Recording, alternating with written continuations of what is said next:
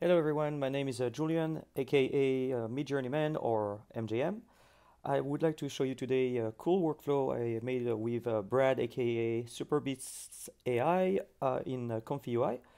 This workflow will let you basically enhance and upscale any images, uh, and it's pretty cool. You know, it has a lot of uh, cool features, and I would like to show you how to use it, how to to set it up, and and what it can do.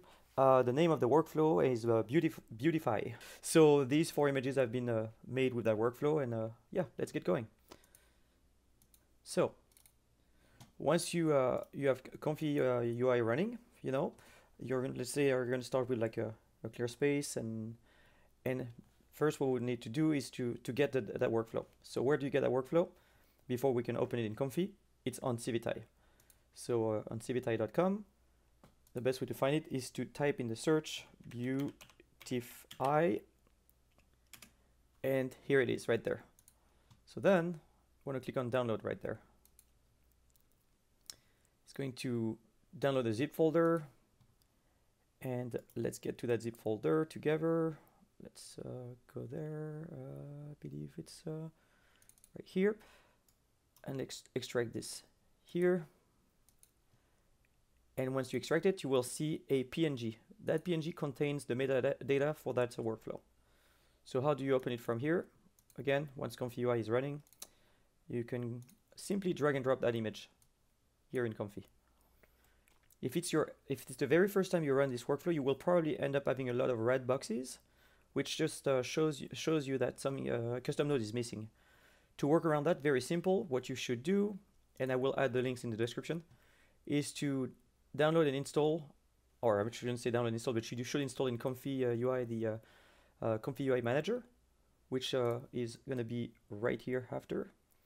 And the Comfy UI Manager will basically let you find all the missing custom nodes and install them for you. So that makes this very, very simple. So once you are done with this, you should be able to start using the, uh, the uh, workflow here. And before I show you an example, let me kind of like walk you through the, the concept here. So you load an image here and you have various things you can change, of course. You can change little, but you, you can change as much as you want. Uh, you load your image, you can pick, uh, choose your checkpoint here. Uh, you can add your LoRAs to add more styling. You can customize the FreeU to uh, V2 values if you need to, if you want to. Set up your prompt here. And then the cool thing and the magic happens right here. We have a freedom setting. The freedom setting will basically control how much changes and new details will be added to your image. Uh, a freedom of one will basically act as a simple upscaler. So you your low res image will basically upscaled be upscaled by these factors here, because we have two passes, pass one and pass two. Pass two is optional, and there is a switch to disable it, which I will show you in a second. But if you see right now, 2 and 2, that means that your input image will come as a 4x image. And so, yes, so back to the setting, if you set it to 1, it's only going to simply pretty much go going to upscale your image without like enhancing it, enhancing it. A good default value is 5, so right in the middle, and it's going to, to add like enough details. And if you go too high, you can try. If you go too high, it might it might add like more faces and you know like the typical things that you can see sometimes in these kind of applications. So you just have to, to try and play.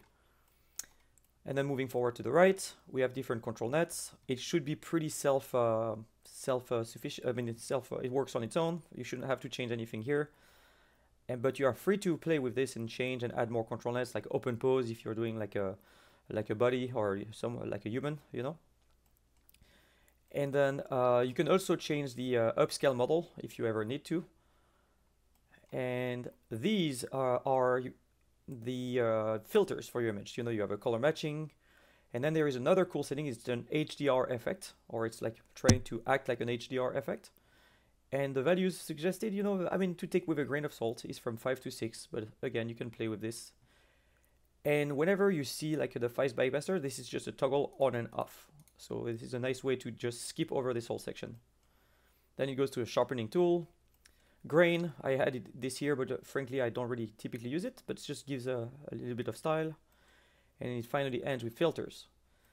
After that, uh, you're going to go to the pass two. The pass two right there, it's you can it's either enabled or disabled.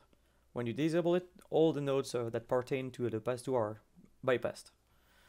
And so if you click on enable, as you can see, same kind of concept, control nets, and then the upscaler that you may change, the chain to uh, enhance the image further, the filters, the color match, and so on and so forth. And that's basically it. It's very uh, straightforward workflow. And at the bottom here, this is where your image will be saved. This is a cool node that will tell you that it's going to be saved in a folder with the date of today. And within that folder with the date, you will have another uh, folder called upscale images or vice versa. Sometimes it's uh, it's reversed, but anyways, you will uh, I will show you uh, where it's uh, where it's at on my PC. Let's just do one together. So I'm going to load an image. And the image I'm going to load is a pretty old school uh, Midjourney uh, V3 image, which I'm going to load right now. As you can see, and it's low res, and uh, the details are not that great. As you can see, it's pretty, pretty even hard to really make anything out of this one. So the next thing I'm going to do is the prompt. So I'm going to move over to the right. I'm only going to change the first line here. I already kind of like uh, wrote this further somewhere else, so I'm going to just paste here.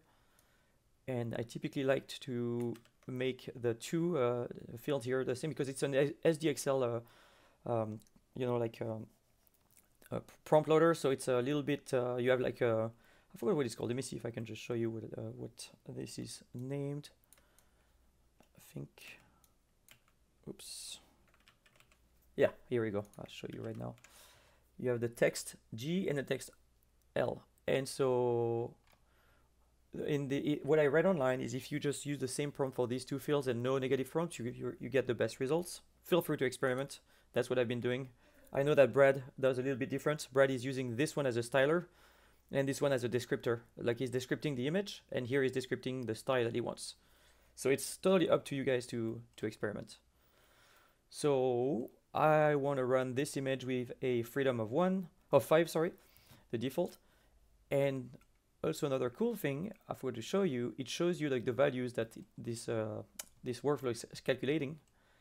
And also the resolution that is uh, going to be an SDXL resolution is being shown to you here. So once I'm ready to go, I'm just going to click on Queue. And now we wait.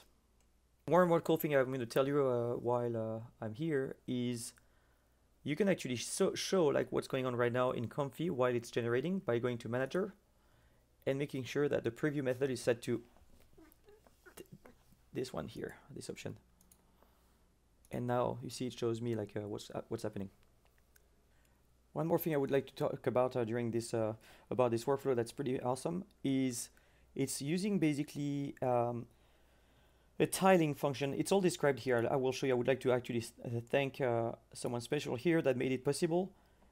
And his name is TT Planet, and you should be able to find him on uh, on Civitai. And he basically trained a tile a tile uh, control net, which uh, is basically for sure making this like uh, working here. And in addition, the combination of the tile control net plus the ultimate SD upscale is making this workflow what it is right now. And also, one more qu quick uh, trick I was going to give you, if you're testing things to make things faster, you can set the seam fix mode to uh, none during the testing. And when you're ready to do the final image, you, you want to change this back to half tile and it's gonna you won't see the seams. So that's another little trick. Let's continue to wait for this to generate. All right, first one is done.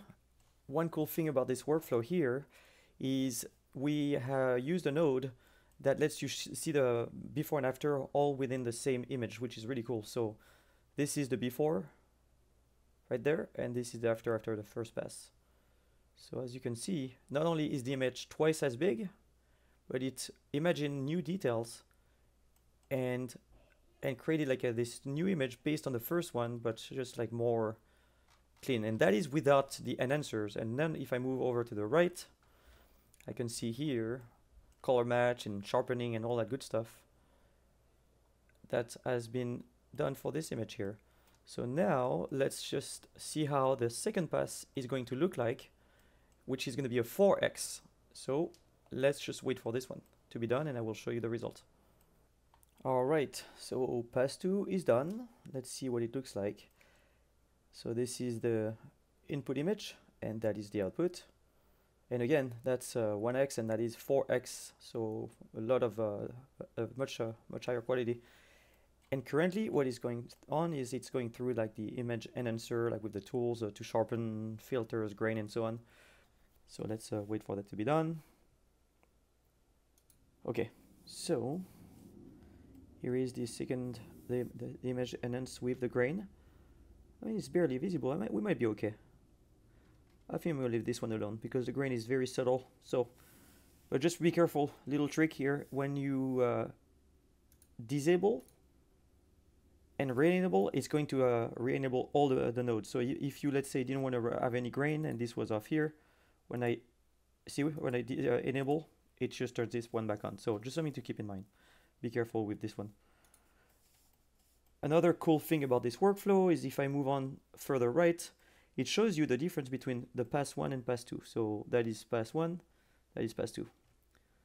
As you can see, it's a little more sharp and a little more details. Not too much, but uh, yeah, you see here, it's that much, a, a little bit better. And finally, the last thing you can see is the pass 1 with enhancements versus pass 2 with enhancements. So that is pass 1 with enhancements, and that is pass 2 with enhancements. And finally, you can see here the, the image being saved after pass 1 and the image being saved after pass 2. So if we go in the folder, let's just see the, the images.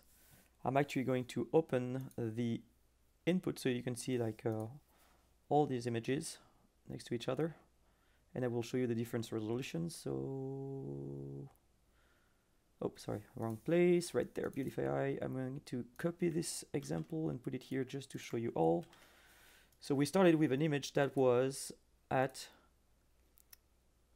uh, you know 124 to 1280 looked like that. This is pretty uh, not that great right? Like pretty uh, not sharp and the details are really confusing. I mean it's not it's old school old school Midjourney for you. And then we look at the second image here, the uh, result from the first pass, and we are now at 1792 uh, uh 2240. So if I open it, it's just definitely sharper, more details, and finally the very last result, the uh, outgoing image, we are at 3584 to by uh, 4480, and this one does is very detailed it's uh it's freaking freaking awesome. I love this uh, this workflow and uh yeah, I can't wait to see uh, what you guys uh, make with it. So if you want to tag us, uh, we put like uh, our credentials of Instagram here, Midjourneyman and superbeasts.ai. You can find us on uh, YouTube, X, Reddit, all over the place. Yeah, we, you know, we have all the links on our, our bios here on Instagram. But yeah, definitely let, let us know and tag us on whatever you create with this workflow. Would love to see what you guys make. I hope you love it because we do. Peace.